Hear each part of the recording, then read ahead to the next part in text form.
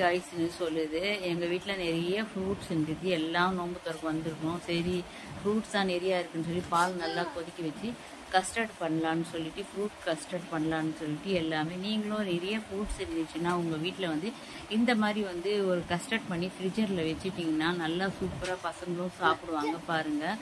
subscribe பண்ணுங்கள் like பண்ணுங்கள் share பண்ணுங்கள்